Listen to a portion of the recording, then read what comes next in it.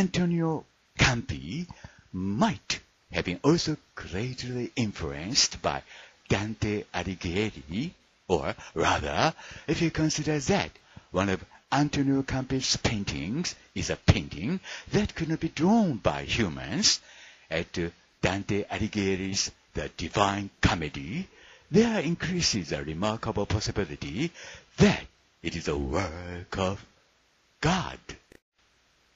In the painting of the Secret of the Passion of Jesus Christ by Antonio Campi, the Inferno, the Purgatory, and the Paradise are depicted from left to right, and that heaven is praised by a circle in the Dante's book. Or maybe this is just a coincidence? It is possible that Campi knew what Dante's Divine Comedy was about, and that Campi drew this picture with this idea. However, Campi depicts the planet Jupiter on the right as if it were a photograph, together with a nuclear war on the far left of the painting. Needless to say, that nuclear war is the worst hell or inferno for mankind.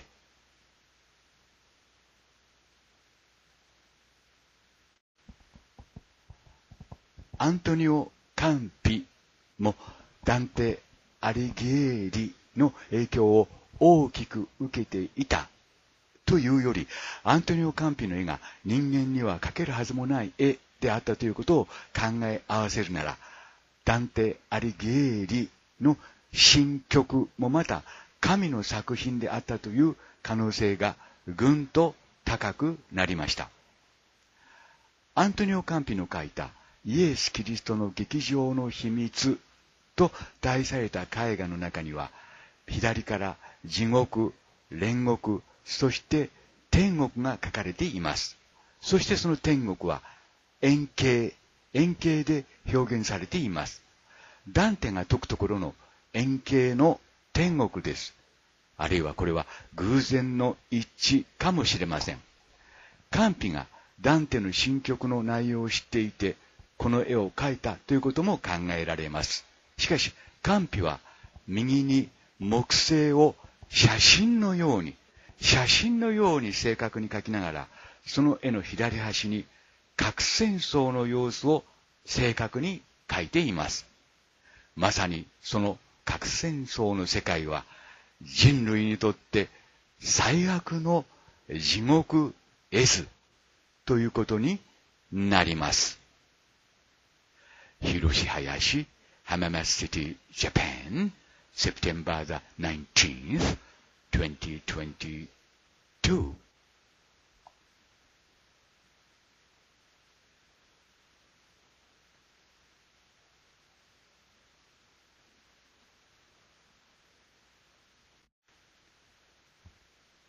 ダンテの新曲について簡単に説明しておきます。ダンテの新曲はですね、大きく三部作に分かれています。地獄と煉獄と、そして天国ということになります。そのダンテはですね、赤い衣服を着て案内されるわけですけども、青い衣服を着たガイドによって、まあ、それらの 3, 3つの世界をですね、案内されるという構図になっています。構成になっています。そしてその様子をですね、ダンテが新曲に書いたということになります。今ご覧いただいているのはですね、天国の様子ということになりますが、天国の様子はこのような円形で示されています。そしてそれと全く同じと言っても良いわけですけども、その様子がですね、アントニオ・カンピのイエス・キリストの劇場の秘密の中に書かれているということです。それをこれから皆さんにご覧いただきますけれども、まあ、左が地獄ですね。中央が煉獄。そして右が天国。まあ、煉獄というのはですね、天国行くか地獄行くか、その分かれ道の中で生活する、まあ、つまりは人間の世界ということになります。ま、これがダンテの考える新曲、あるいは考えた、あるいはひょっとしたら教えられた新曲ということになるのかもしれません。そこで皆さんにご覧いただきたいのはですね、アントニオ・カンピの書いたイエス・キリストの劇場、つまり激怒の秘密と題されたこの絵ですけども、この絵はですね、太陽光線はですね、左手前の方からですね、向こうに、まあ、走っているのがわかります。それとは別にですね、左端に、つまりは核戦争の様子が表現されています。で、中央は全体に暗い、まあ、人間世界ということになるわけですね。そして右の方にですね、木星がですね、写真のように言ってますか写真そのものと言っても良いほど、まあ、正確に描かれています。その周りの様子を見ていただきたいんですけども、この今赤枠で囲った部分ですけども、この赤枠で囲った部分にですね、周りに奇妙なものが描かれています。つまり、全体としてこれはプロメテウスの目を表現しているわけですけども、この周りにですね、人間らしきものがたくさん描かれています。今赤枠で囲ったところを、まあ、比較してみてください。つまりこの構成といいますかね、その、いわゆる中身といいますかね、そのコンセプトがですね、全く同じだということです。つまり左はですね、まあ、これはダンテの新曲の、まあ、本に書かれた挿絵って言いますか、それから発想を得た絵ということになるわけですけども、右はですね、アントニオ・カンピが描いた絵ということになります。つまりですね、このような形でダンテの、まあ、書いた新曲のを元にした、まあ、絵画とですね、右のアントニオ・カンピの描いたその絵とですね、コンセプトが同じだということです。まあ、これは偶然の一致と考えていいかどうかということですけども、続く動画の中で、その核戦争の様子と、そして木星での写真のように正確に描かれた右の円形の、ま、物体、謎の物体についての説明をします。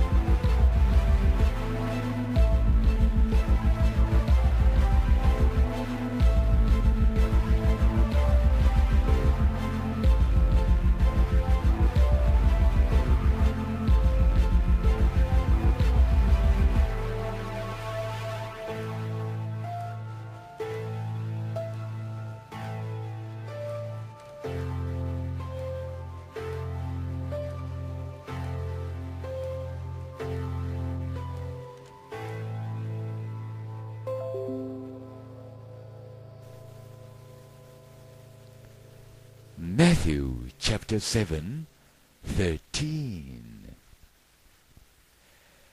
Enter you in at the straight gate. For wide is the gate, and broad is the way that leads you to destruction, and many there be which go in there. Because straight is the gate, and narrow is the way which leads you unto life, and few there be that find it. Beware of false prophets, which come to you in sheep's clothing, but inwardly they are ravening wolves.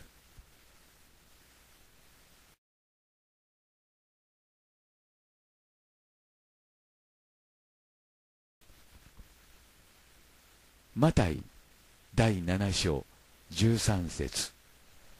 大きい門と小さい門。狭い門から入りなさい。滅びに至る門は大きくその道は広いからです。そしてそこから入っていくものが多いのです。命に至る門は小さくその道は狭くそれを見出す者は稀です。偽預言者たちに気をつけなさい。彼らは羊のなりをしてやってくるがうちは貪欲な狼です。広し林 Hamama City, Japan.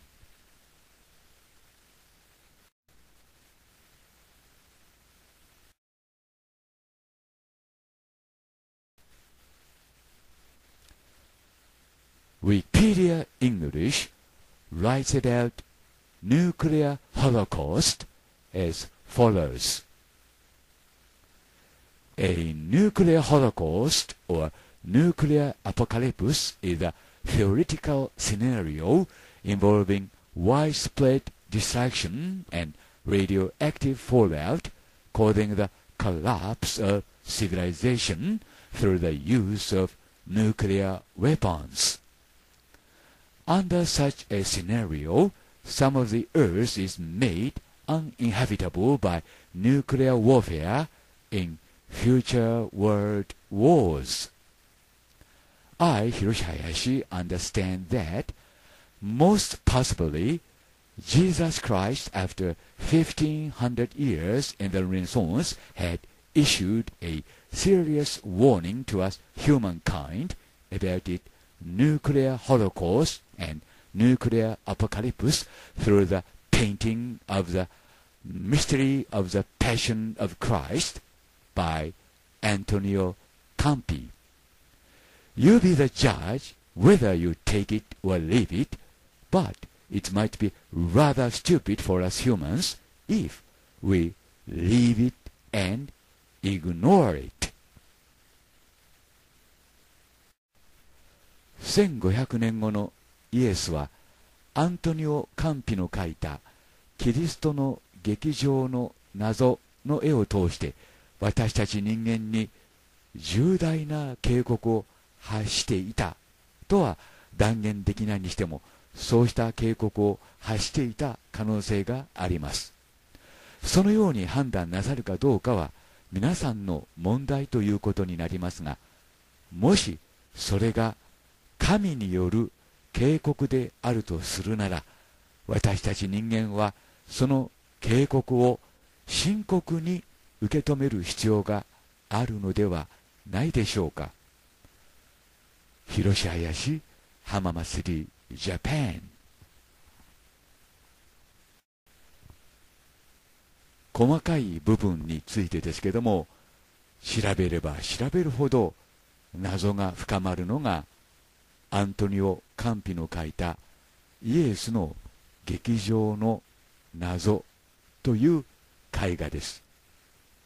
まあ、こうして調べていくとですねあれこれ言いたいことが山のように浮かんできます。がそれは今日のポイントではありません。ここにイエス・キリストらしき神が表現されていますがひょっとしたらひょっとしてホログラムではないでしょうか。そしてこの部分中央岩の穴の中にいるのは誰なのでしょうかというふうに疑問が謎がどんどんと湧いてきます。が今日のポイントはそれではありません。私はこの絵画を調べている時にどうも影の方向がおかしいと感じました。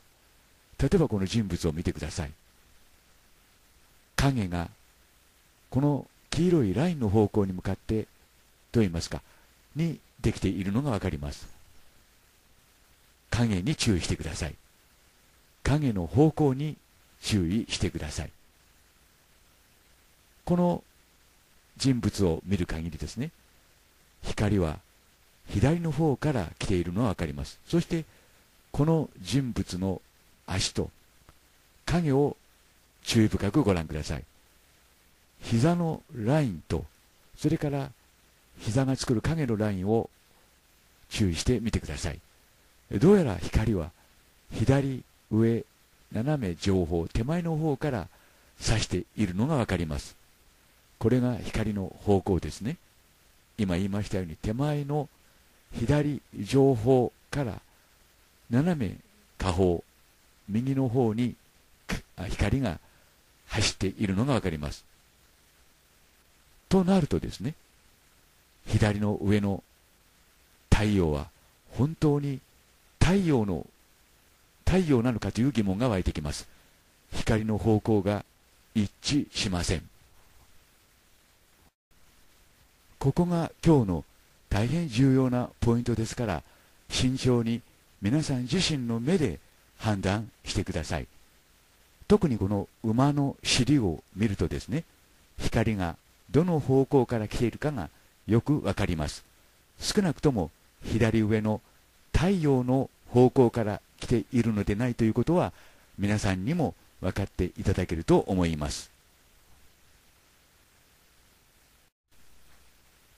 そこで実際の夕日の写真と見比べていただきます。右が実際の夕日の写真です。左がアントニオ・カンピの描いた絵です。様子が違うことに皆さんもお気づきになると思います。カンピの夕日は上の青い空と下の橙色の空が2つに分かれているのが分かります。が実際には夕日であってもですね空は橙色にこのように染まります。皆さん自身で確認してください。で私林博は左の寒皮の描いた絵の中の太陽は太陽ではないのではないかと判断しました。夕日の太陽ではないということになるとでは寒皮の描いたこの太陽のような景色は何かということになります。拡大してみました。太陽のように円形になっていないのが分かります。円形になっていないばかりか上下2つに分かれているのが分かります。太陽がこのように見えることがあるのでしょうか？特に注意していただきたいのがこの岩の影です。この岩の影を見ると太陽はやはり絵の中の人物たちと同じように左上の方から来ているのが分かります。もし向こうに見えるのが太陽であるならばこの岩の影は真っ黒になるはずですがこの岩影は真っ黒には描かれていません。つまり光源は2つある。そしてその1つは太陽でありもう1つはということになります。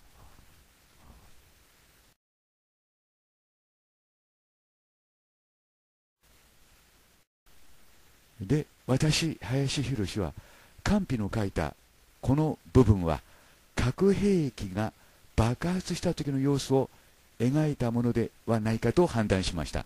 その理由はこのすぐ後に説明しますが、こうして比較してみるとですね、カンピの書いたこの太陽のように見える部分は、太陽ではなくて、むしろ核兵器の爆発の様子に酷似しているということがわかります。皆さん自身の目で判断してみてください。太陽であれば、多少の雲があっても深遠形になるはずです。つまり、これを太陽と見るか、核兵器の爆発の様子と見るかは、つまりは皆さんの判断ということになります。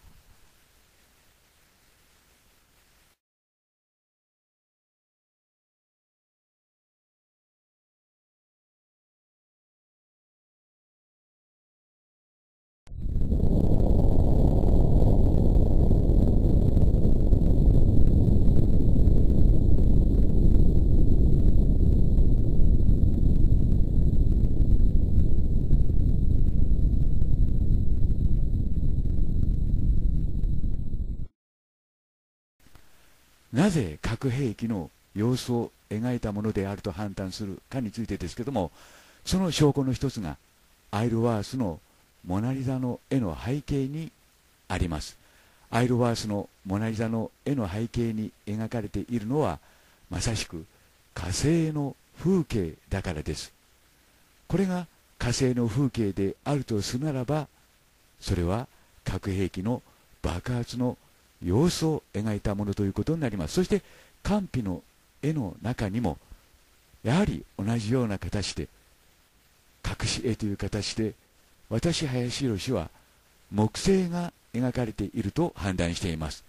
つまりこれが木星であるとするならばつまり寒皮はこのような形でその絵の中に実は核兵器による爆発の様子を描いたものである。と判断できるわけです。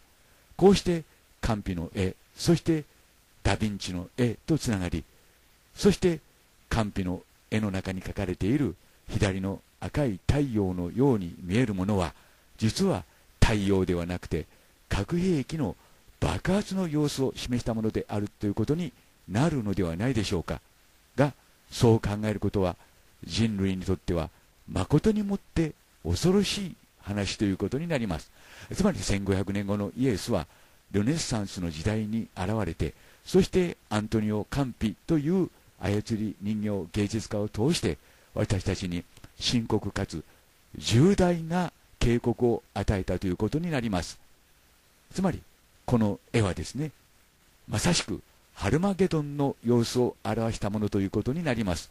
そしてそのハルマゲドンを起こすといいますか原因となるのが実は核戦争であるということになるのではないでしょうか、えー、つまり1500年後のイエスは今から500年ほど前に人間に対してすでにこのような警告を発していたということになります。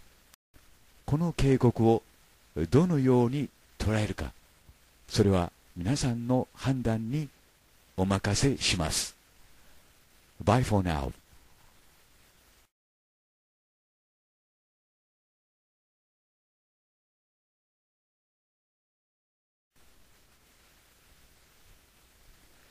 Antonio Campi was an Italian painter of the Renaissance, and his one of the greatest masterpiece is one named The Mystery of the Passion of Christ, which is full of mysteries. Here is one mystery about which Miss Jane Jones, one of my YouTube subscribers, has pointed out that the strange object right top in the painting looks like Jupiter in the solar system.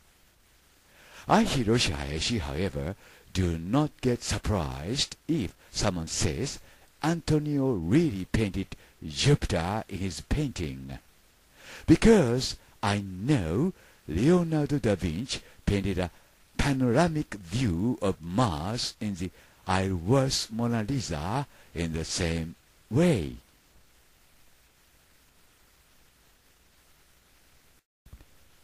視聴者の一人のジェーン・ジョーンズさんがカンピの描いたイエスの劇場の謎の絵の中の不思議な物体は太陽系の木星に似ているのではないかと書き込みをくださいました。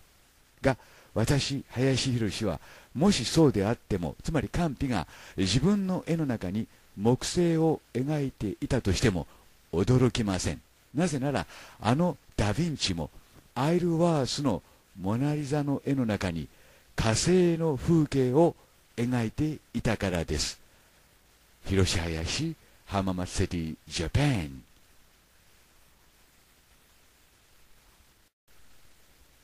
左が NASA の探査機が火星で実際に撮ってきた写真です。右がアイロワースの絵の中に描き込まれていた私林宏が火星の風景と判断する部分です。これらの写真及び絵には一切着色など加工は加えていません。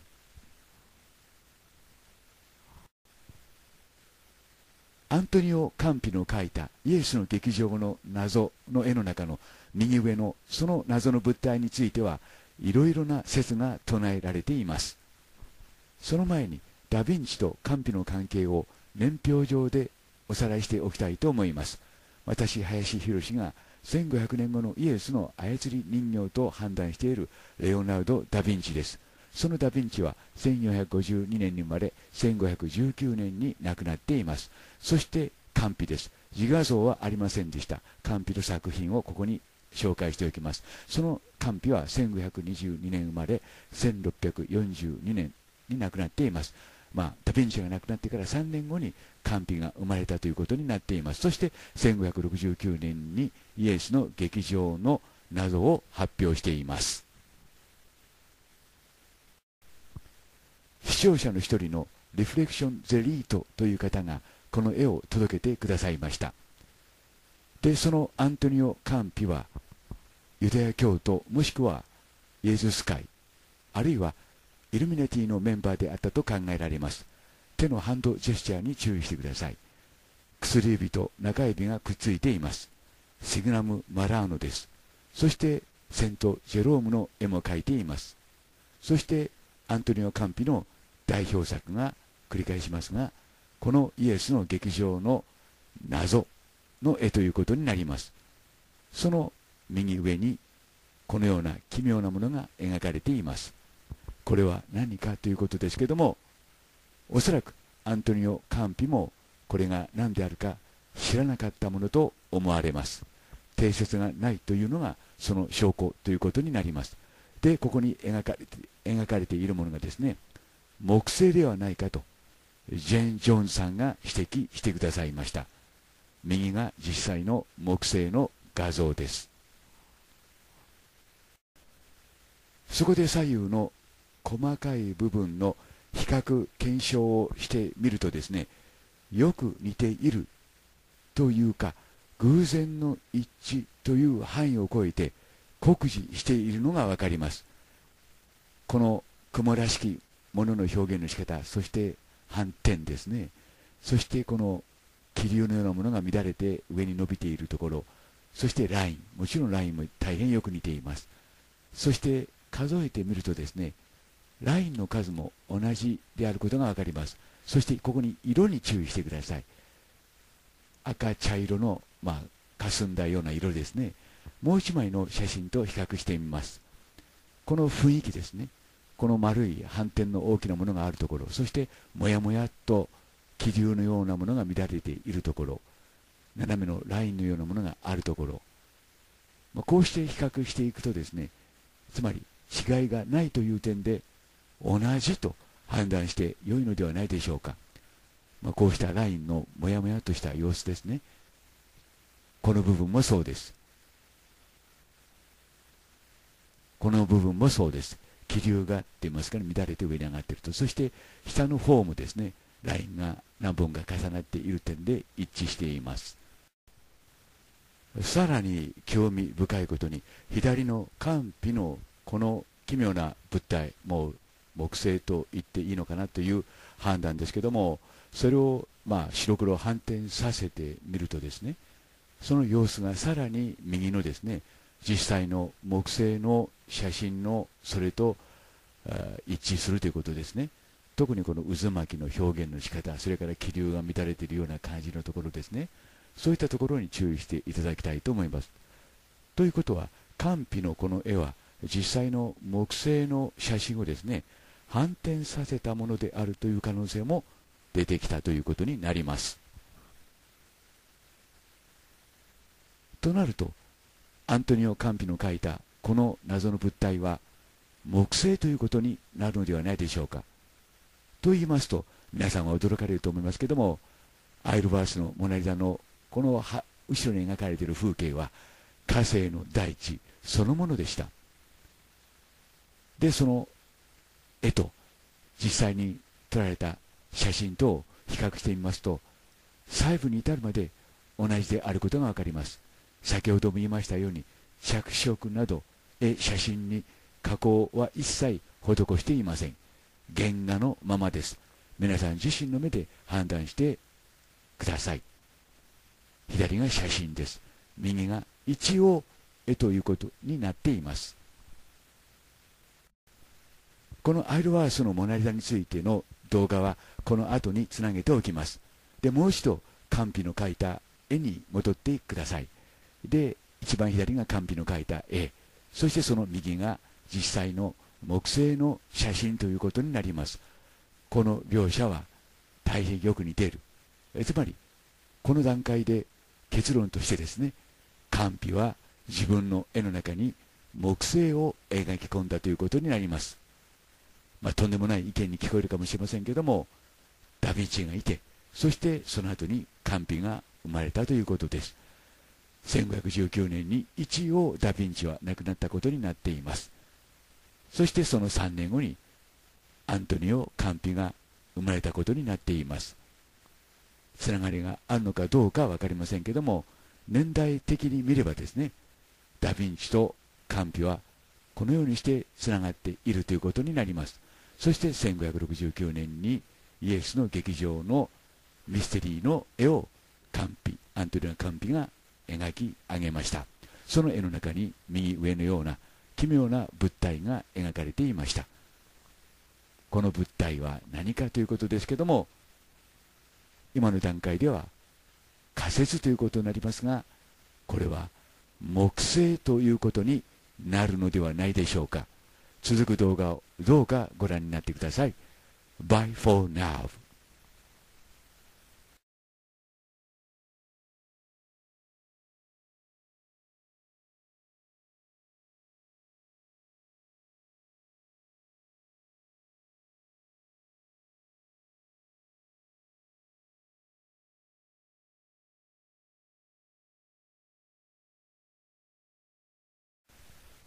Someday you will reveal this fact.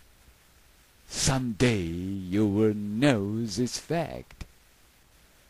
Then you humans will know what I was. And then you humans will know where you are from and what you are. You humans are my sons and daughters of God. いつの日か君たち人間はこの事実を暴くだろう。そして君たち人間はこの事実を知るだろう。その時君たち人間は私が何であったかを知るだろう。そしてその時君たち人間は君たちが何であるか。そして君たち人間がどこから来たかを知るだろう。君たち人間よ。君たちは神の息子であり。そして娘なんだよ。と。広島林浜祭りジャパン。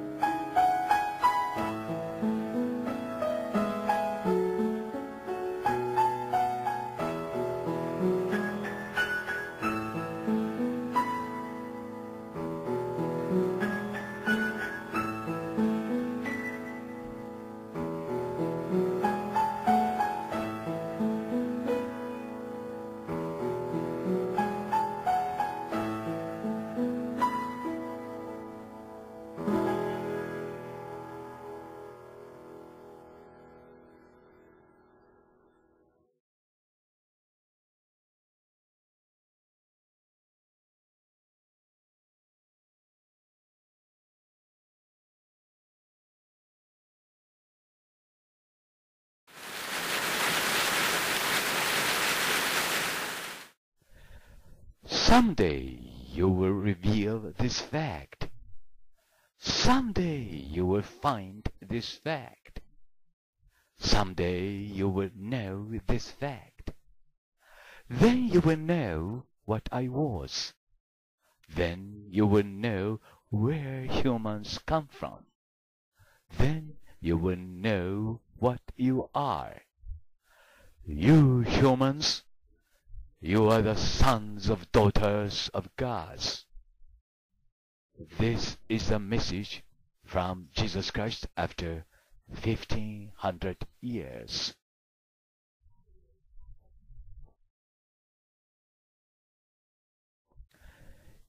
いつの日か君たちはこの事実を暴くだろう。いつの日か君たちはこの事実を見つけるだろう。いつの日か君たちはこの事実を知るだろう。その時君たち人間は私が何であったかを知るだろう。その時君たち人間は自分がどこから来たかを知るだろう。その時君たち人間は自分が何であるかを知るだろう。君たち人間よ。君たちは神々の息子であり、娘なんだよ。これが1500年後のイエスからのメッセージということになります。広し林浜松シティジャパン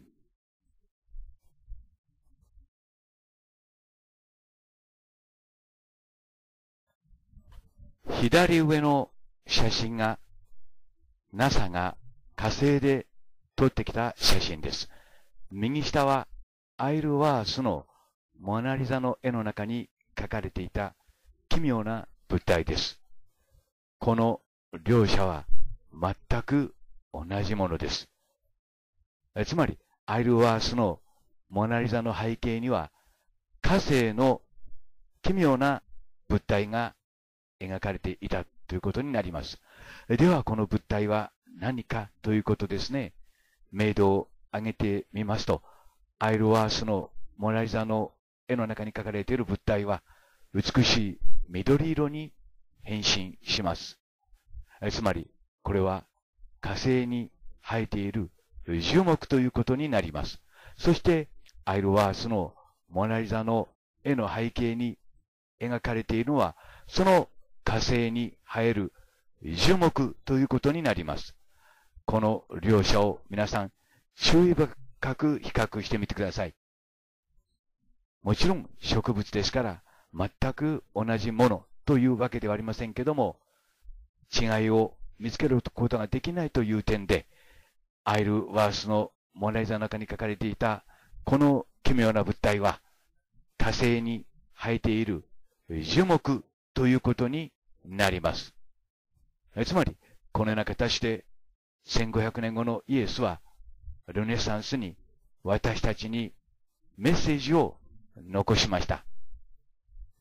いつか、君たち人間は、この事実を知るだろう。その時、君たち人間は、自分が何であるかを知るだろう。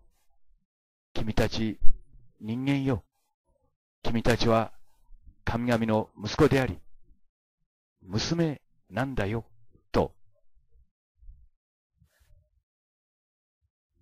まあ、このように比較してみるとですね、このアイルワースのモナリザの中に仕込まれた1500年後のイエスのメッセージを読み取ることができます。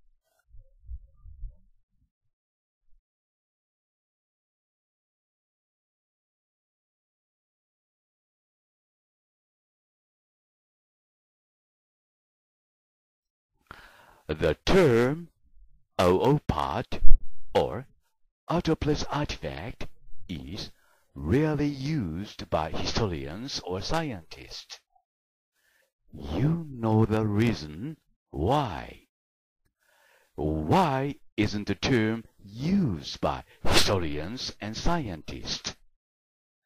The term is used to describe a wide variety of objects from anomalies studied by mainstream science and pseudoecology far outside the mainstream to objects that have been shown to be hoaxes or to have mundane explanations. Then, how about this fact I show you here in this video? オーパーツという言葉は歴史家や科学者の間では使われていません。なぜ歴史家や科学者は使わないか。その理由は皆さんご存知の通りです。オーパーツという言葉は科学の世界では邪道と言われるものを表現するために用いられているからです。あるいはエセ科学の代名詞としてアカデミック・ソサイエティの外にあるインチキ考古学の代名詞として用いられているからです。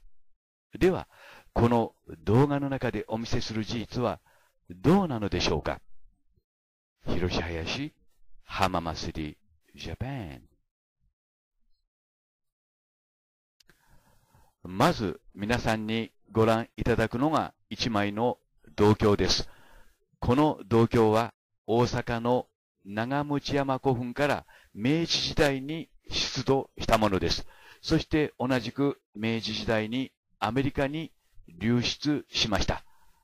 現在、この銅鏡はマサチューセッツ州のバーサミューゼム・ファイン・アーツに所蔵されています。この銅鏡には北極海の地図が正確に浮き彫りで彫刻されています。海岸線のみならず、シベリア大陸の方には川、あるいは湿地帯まで正確に彫刻されています。一つ注意していただきたいのは、この銅鏡の中で特に色の濃い部分は海氷もしくは氷、雪と考えられます。それを除きますと、このように北極北極海の地図と完璧に一致します。のみならず、この銅鏡の上の地図はですね、真上から見たときに、まあ、地球の写真と一致するということです。つまり、特殊な方法で上から焼き込んであるということになります。時代は卑弥呼の時代です。まさにあってはならないオーパーツということになります。もうこの事実を発見して、私、林博が発見して、すでに3年以上になろうとしています。次にご覧いただきますのは、法隆寺の隣にあります、中宮寺にある弥勒菩薩繁華シー像です。中宮寺です。この中宮寺には、弥勒菩薩繁華シー像が安置されています。左がガンダーラ仏です。この両者はプロポーションが全く同じです。そして二つを重ね合わせてみますと、細部に至るまで同じです。ただし、鼻の長さと太さだけが違います。団子の形も少し違います。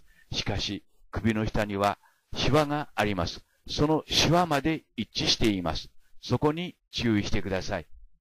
この事実も私が発見して、すでに3年半、あるいは4年近くになります。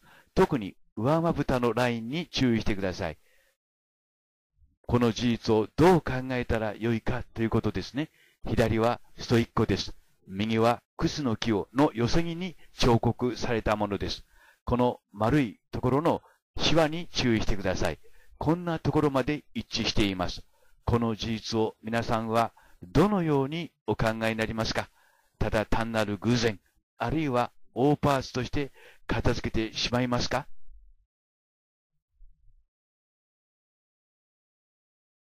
ついでですが、法隆寺にはこんな奇妙な像も残っています。私、林博が2012年、2012年に法隆寺の所蔵目録の中から発見したものです。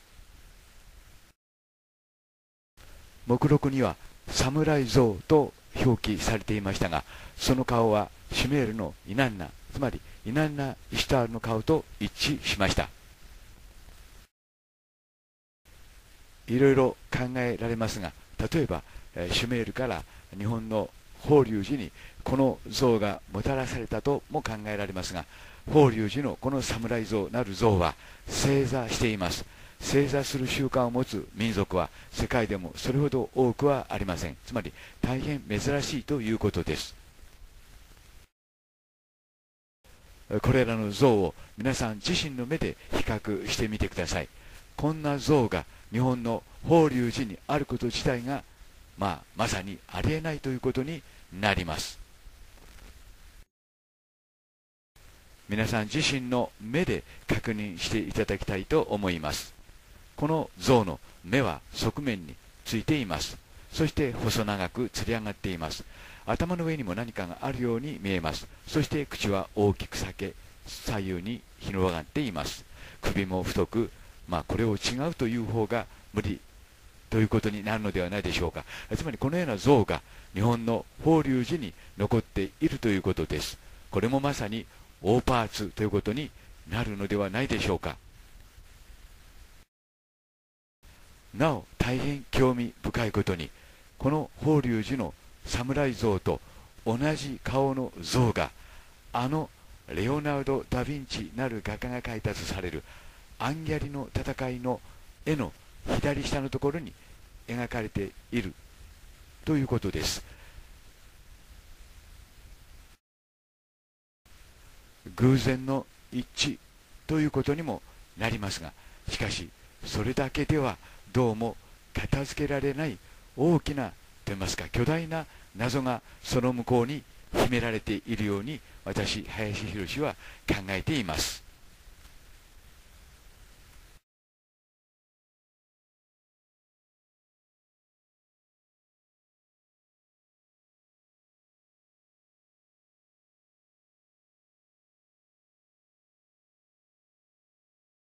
皆さんに見ていただきたいのは、レオナルド・ダ・ヴィンチという画家が描いたことになっているアイルワースのモナリザです。そのアイルワースのモナリザの背景には火星の大地が正確に描かれていました。これは NASA が公表した火星表面に撮られた奇妙な物体の写真です。一般には針葉樹に似た木だと言われています。高さはわかりませんが、相当高い木と思われます。その木が、アイルワースのモナリザの絵の向かって左側に描かれていました。この部分です。この部分に注意してください。一見すると何かわけのわからない、つまり得体の知れない物体に見えますが、これはこの白い線のところで上下が線体状になっています。明度を上げますと美しい緑が浮かんできます。そうです。これは植物です。その植物が下の大地、多分水か何かがあったのでしょう。反射して映っています。これは NASA が公表し、現在アリゾナ大学が保管している写真です。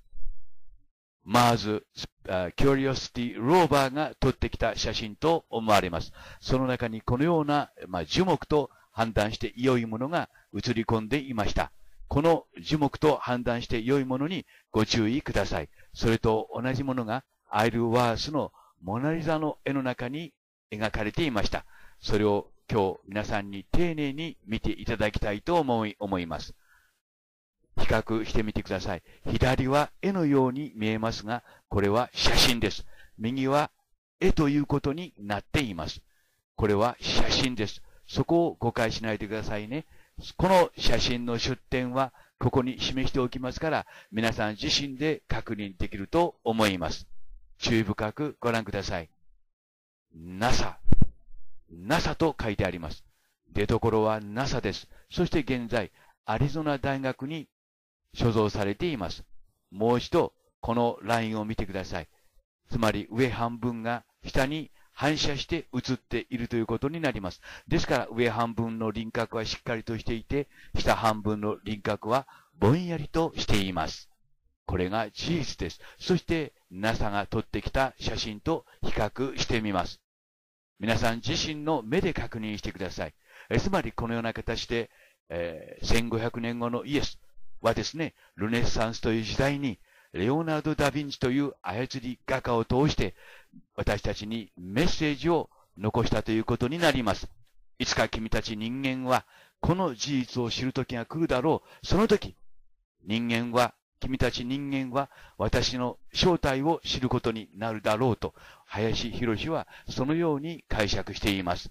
もう一度、皆さんが撮ってきた写真と、そしてアイルワースのモナリザの中に描き込まれている木の絵と比べてみてください。注意深く見てください。まさにオーパーツということになります。まさにオーパーツということになります。左は写真のままで手を加えてありません。ただ、明度は少し上げてありますが、それ以外は手を加えていません。そして、右の方もやや明度を上げていますけども、それ以上の手は加えてありません。皆さん自身の目で確認して比較して判断してください。ここが重要です。ここが重要です。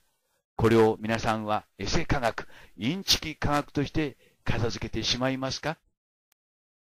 また片付けてしまって良いのでしょうか？左は NASA が撮ってきた写真です。右はアイルワースのモナリザの背景に描かれた奇妙な物体です。寸部たがわず同じです。この事実を皆さんはどのように判断なさいますか？左の絵が描かれたのは今から500年前のルネサンスの時代ということになります。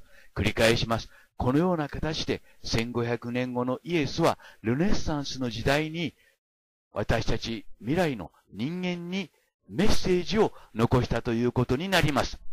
いつか君たち人間はこの事実に気がつく時が来るだろう。その時、君たち人間は私の正体を知ることになるだろうと。そういうことです。まさに、オーパーツ中のオーパーツということになるのではないでしょうか。もう一度、NASA の写真を確認してください。University of Arizona と書いてありますね。そして、ホームページもしっかりと紹介してあります。私を疑う人は、このホームページにアクセスして、直接この写真を見られたら良いかと思います。これは火星で撮られた写真です。まあ、これが植物であるというためには、まだいくつかのハードルを超えなければなりませんけども、これは誰が見ても植物ということになります。以上、3つのオーパーツ、林博士が発見したオーパーツを紹介しました。Bye for now.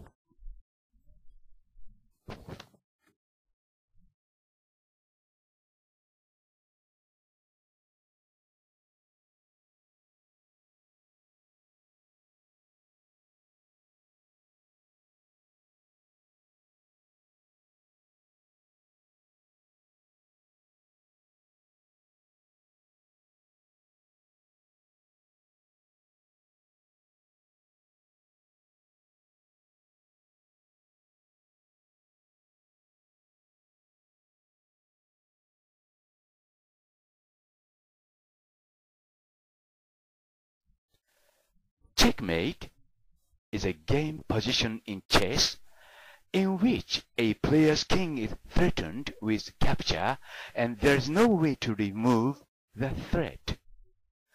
Checkmating the opponent wins a game. So do I. Hiroshi Hayashi, Hamama City, Japan. Checkmate! Aliens! チェックメイトというのは、チェスで王の 逃げ場を封じ込め、王が捕らえられることを言います。つまり、相手をチェックメイトした方が勝負に勝ったことになります。で、林博士もその勝負に勝ちました。エイリアン、王手広し林、浜松シティ、ジャパン。火星で植物らしきものが次々と発見されています。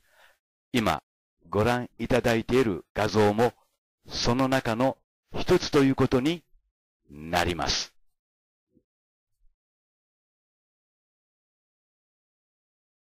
まず、皆さんに、レオナルド・ダ・ヴィンチなる画家が描いたと言われているアイルワースのモナリザを見ていただきます。このアイルワースのモナリザの背景には火星が描かれています。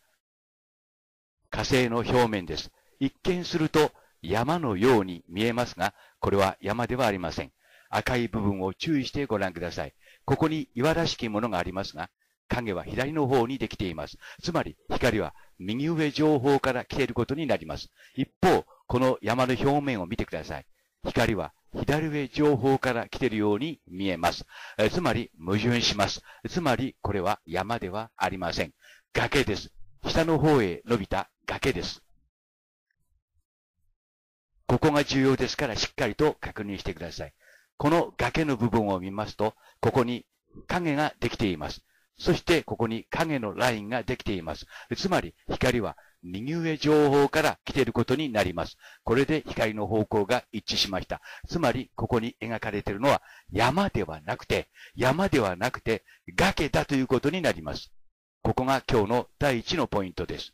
そしてこの崖と、それから火星表面で撮られました写真と比較してください。大変よく似ていることがわかります。火星にはこのような崖が至るところにあります。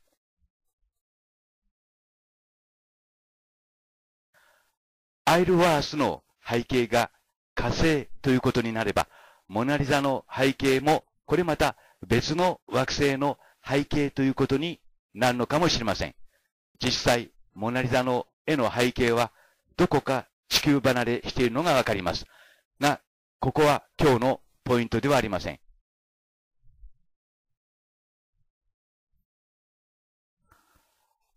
今日のポイントは、アイルワースのモナリザの背景には火星が描かれているという点です。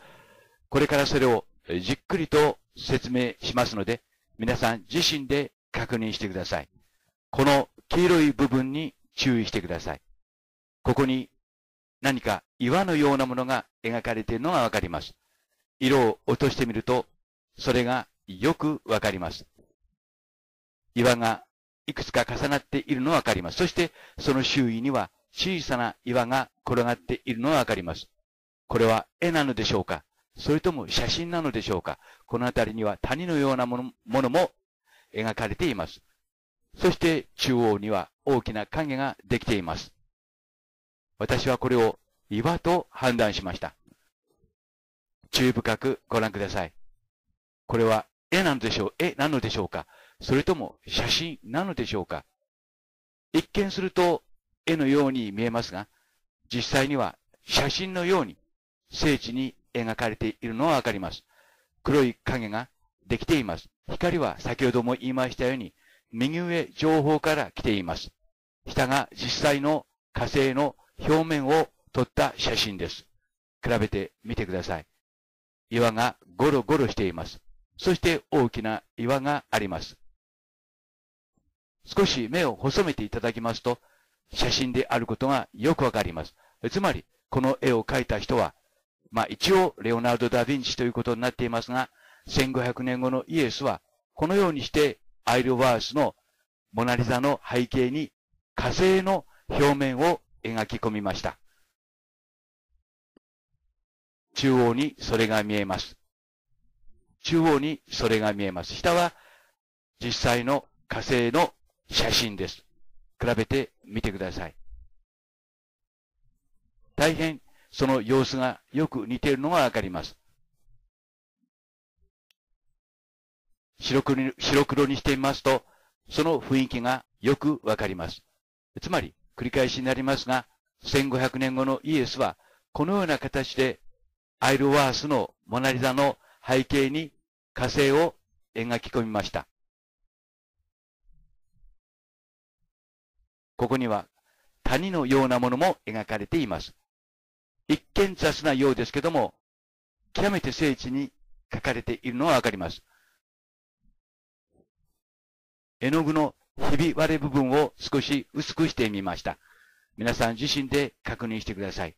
これは絵ではなく、写真であると私、林博士は判断しました。つまり、写真をそのままこういう形で絵の中に写し込んだということになります。なぜこんなことをしたか。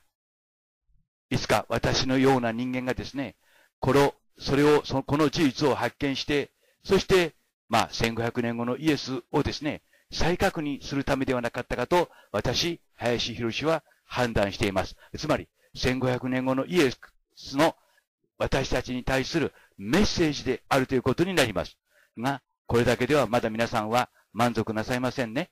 で、私も同じようにその絵を描いてみました。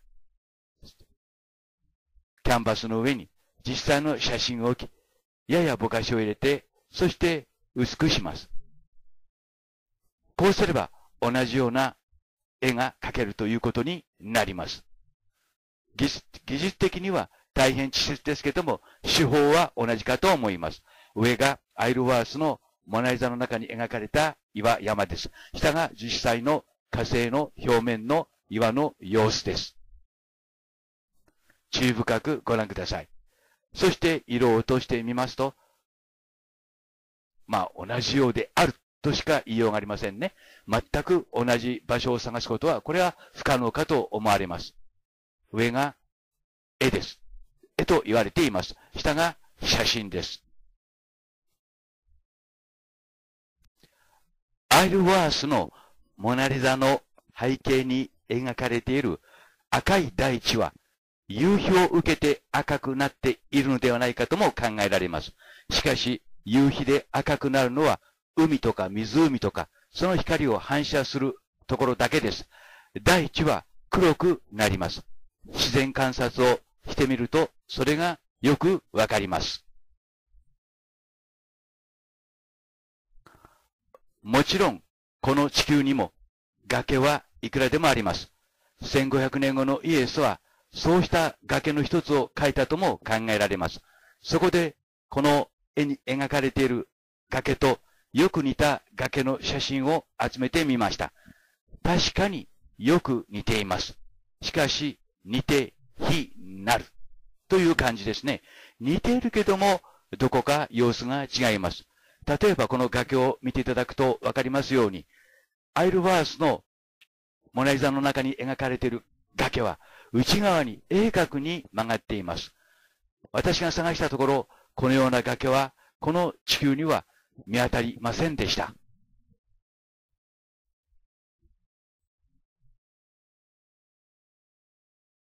で、本題です。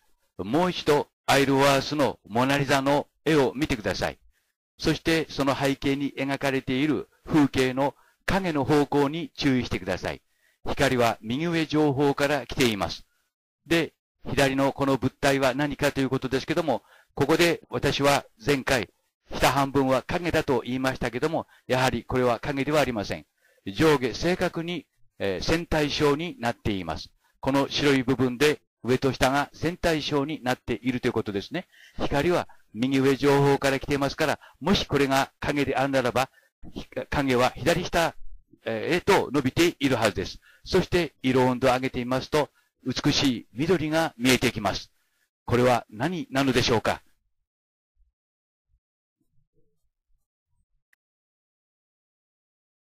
実は最近次々と分かってきたことなのですけども、どうやら火星にも植物があるらしいということが分かってきました。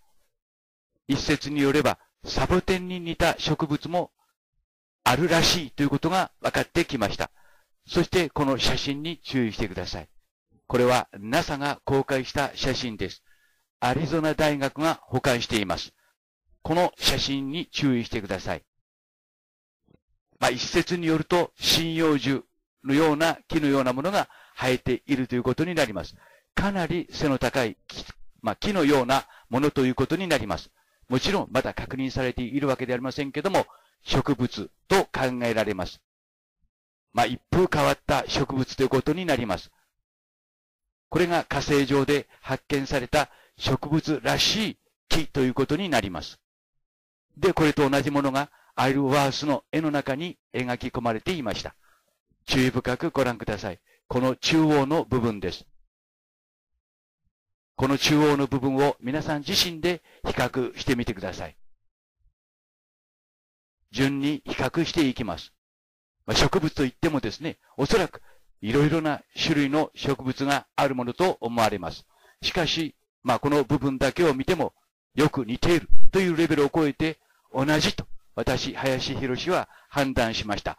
つまり、アイルワースのモナリザの中に、モナリザの中に描かれているこの奇妙な物体は火星に生える植物ということになります。つまり、針葉樹に似た木ということになります。この写真の出所は、ここに皆さん、皆さんにお見せしておきます。現在は、アリゾナ大学の Education、教育学部に、えー、所属しているそうです。NASA から出ています。間違いのない写真です。つまり、アイルワースのモナリザの中には、すでに500年前にそれが描かれていたということになります。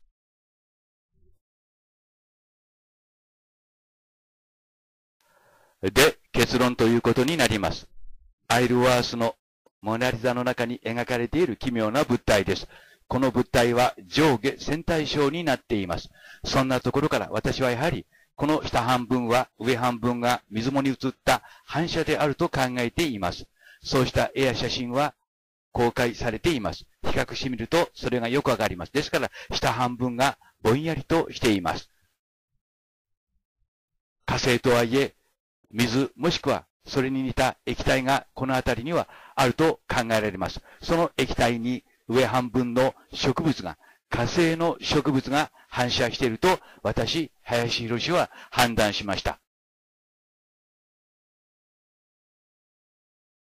そして最近、つまり2017年になってからですけども、私、林博はこんな興味深い写真を手に入れることができました。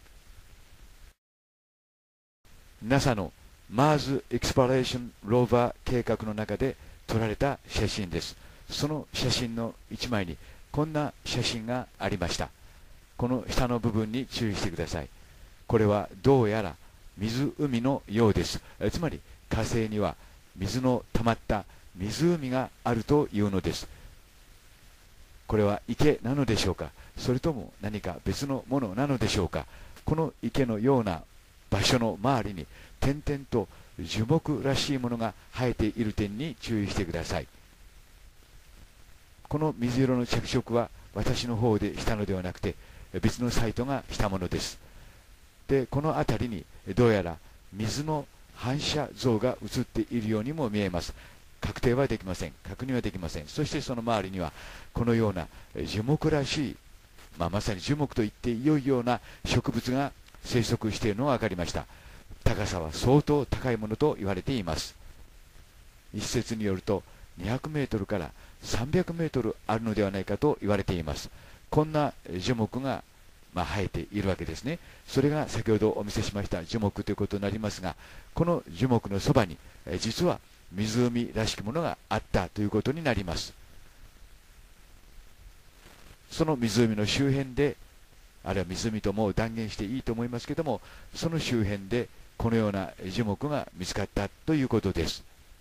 つまりこのような樹木がその水面といいますか湖の水面に反射してちょうど、まあ、中央ラインでですね線対称の図形を作っていると私林博は考えています。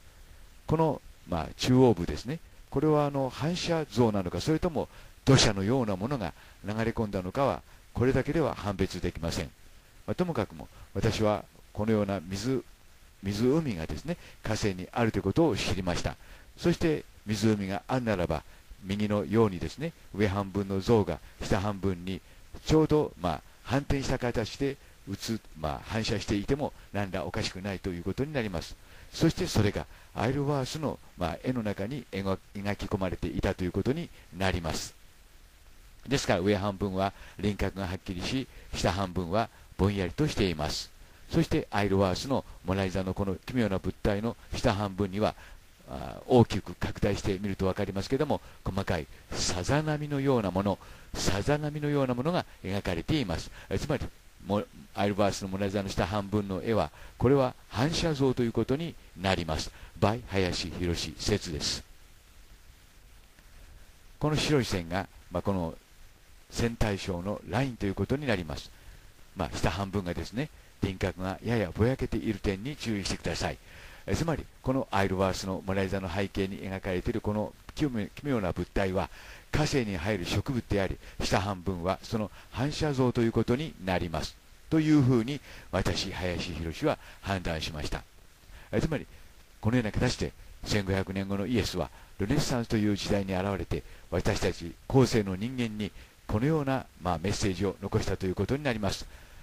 いつか君たち人間はこの事実を暴く時が来るだろう。その時君たち人間は私の正体を知るところとなるだろう。そして同時に君たち人間は君たち人間が何であるかを知るところになるだろうと。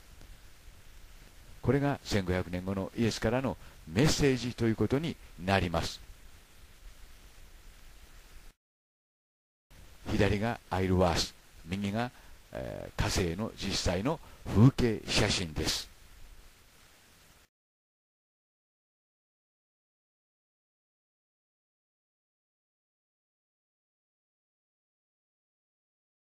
えつまり、このような絵をですね、写真の形で、えー、描き込むことによって、1500年後のイエスは、私たちにメッセージを残したということになります。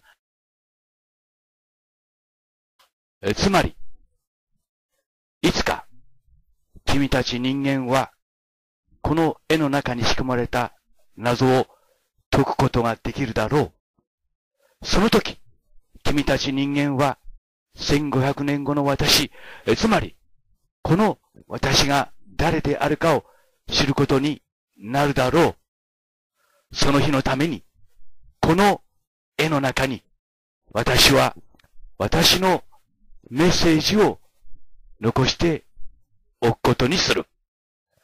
Jesus Christ after 1500 years.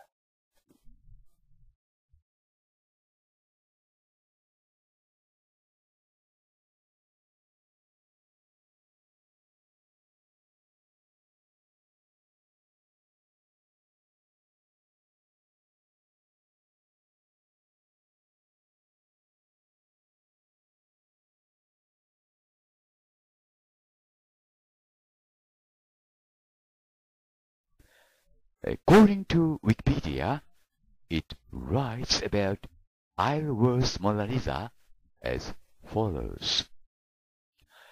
Shortly before World War I, English art collector Hugh Blaker discovered the painting in the home of a Somerset nobleman in whose family it had been there for nearly 100 years. This discovery led to the conjecture that Leonardo painted two portraits of Lisa del Gioconde, the famous one in the Louvre, and the one discovered by Blaker, who bought the painting and took it to his studio in Isleworth, London, from which it takes its name. 第一次大戦の少し前、ヒュー・ブレイカーというアートコレクターがサマーセットの貴族の家からその家に伝わる一枚の絵画を見つけた。この発見により、レオナルドが2枚のモナリザを描いていたという推測へとつながった。つまり、ルーブル美術館にあるモナリザと、それにブレーカーが発見したモナリザである。ブレーカーはその絵を買い取り、ロンドンのアイルワースのスタジオにそれを持ち帰った。そのためその絵は、アイルワースのモナリザと呼ばれるようになった。広し林、浜松シティ、ジャパン。今、皆さんにご覧いただいているのは、上がアイルワースのモナリザの背景に描かれている奇妙な風景です。下が NASA の Mars Curiosity Rover が実際に火星で撮って地球へ送ってきた写真です。比較してみてください。大変よく似ていることに皆さんもお気づきになると思います。つまり、上の絵はですね、これは絵ではなくて、写真を焼き込んだものであると、私、林博士は判断しています。まあ、この辺りに谷もあり、山もあり、という風景が上に描かれています。そんな点に注意して検証してみてください。えー、目をやや細めてみますとですね、これがただ単なる絵ではなくて、写真のように精緻に描かれていることに皆さんもお気づきになると思います。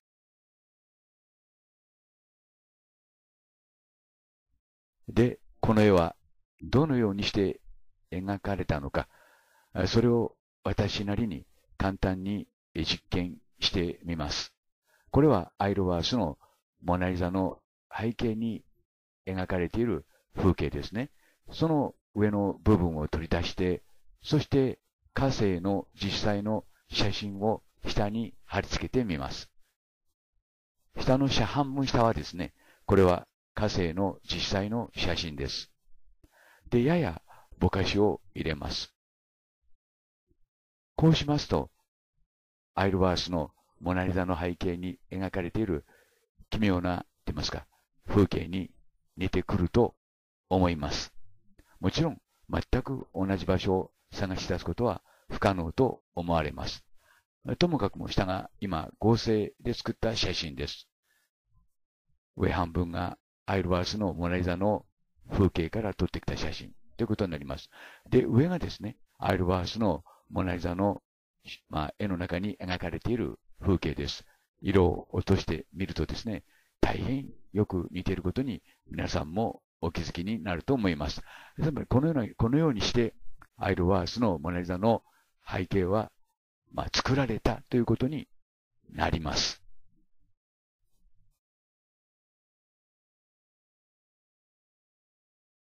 そして、そのアイルワースのモナリザの背景にはですね、火星の木と思われるものが描き込まれていました。最近の、まあ、調査によればですね、どうやら火星にも地球上の木に似た植物が生息していることが分かってきました。これがその証拠写真ということになります。現在、アリゾナ大学がこの写真を保管しています。ここに描かれているものは何かということですけども、相当高い地球上の針葉樹に似た木と言われています。これが火星で発見された植物と思われる木です。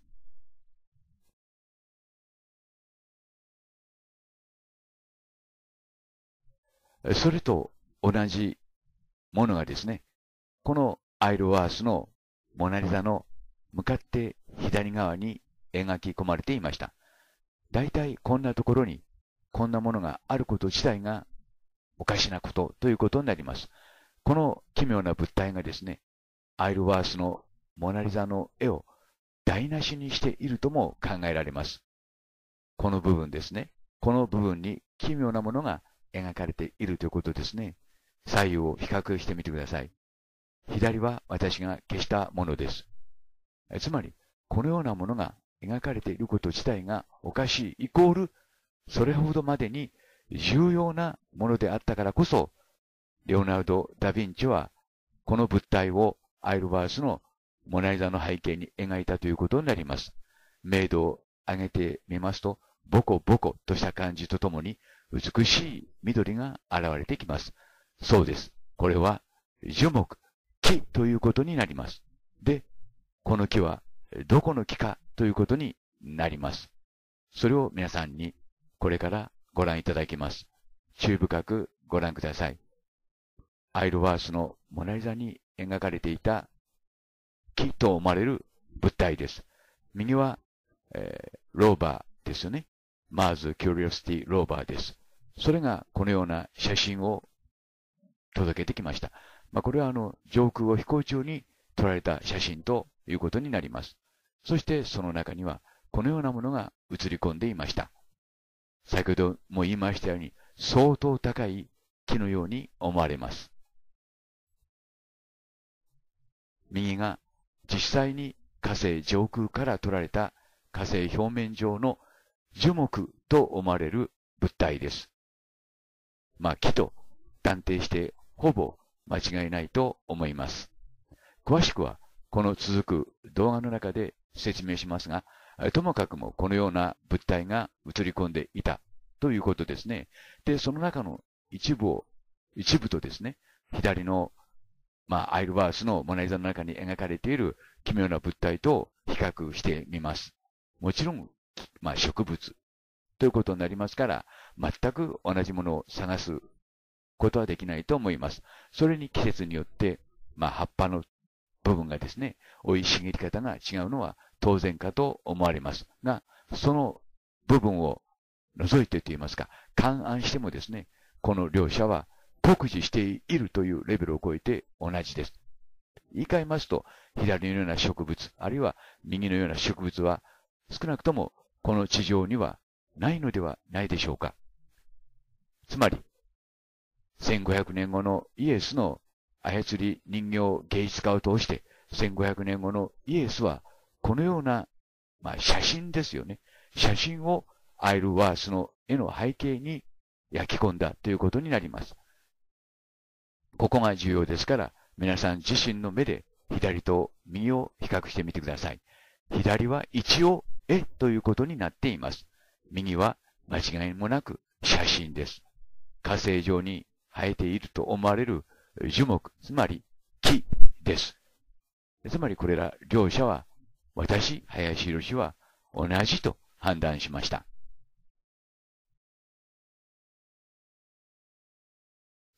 ついでながら、こんな奇妙なものも発見しましたので、一応報告しておきます。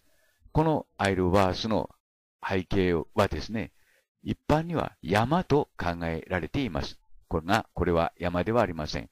下へ掘り込んだ崖です。光の方向からそれがわかります。